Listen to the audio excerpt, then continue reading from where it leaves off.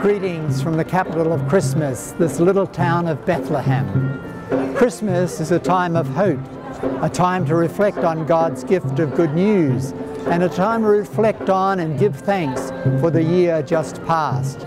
We here at Bethlehem University are grateful for the ongoing support we have received over the past year from around the world.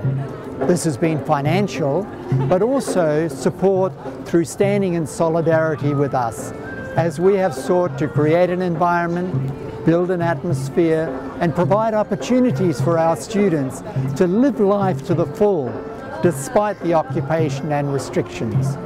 That support has enabled us to continue to build the vision and mission of Bethlehem University.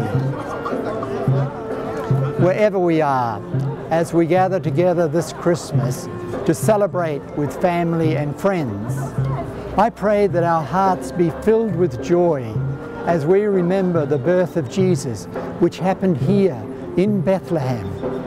And as a result, may our response to God's abundant grace be evident in the acts of kindness and generosity that we extend to one another and to those all around the world.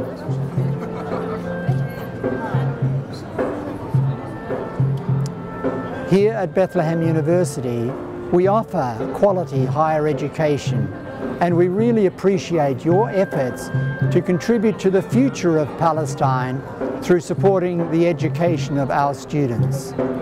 This goal of being an oasis of peace, a beacon of hope, and a provider of quality higher education is met through your generosity and support.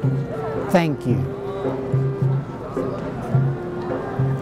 So from all of us here at Bethlehem University, in the capital of Christmas, we wish you God's peace and blessing this Christmas and a joyous new year.